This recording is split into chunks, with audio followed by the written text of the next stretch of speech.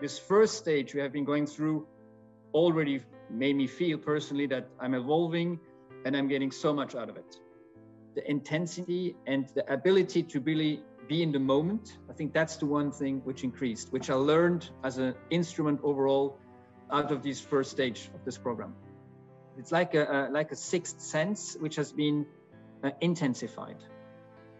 Learning in a virtual context has two interesting aspects. It speeds up the, the learning process, but also it intensifies the content of the learning.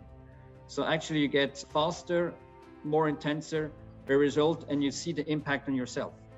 We started somehow high level, but we're really going into the, the personalities and the, the, the each transformational changes of the person. So that's really, really great.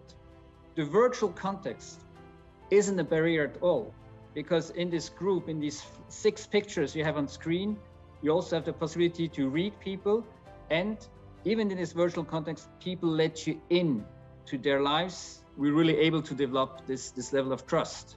You get even more access to talents, to great leaders, having this virtual context. One of the highlights, it's a confirmation that the promise of IMD real learning is really there. Bridging the theory, the science with the practical experience and how it impacts yourself.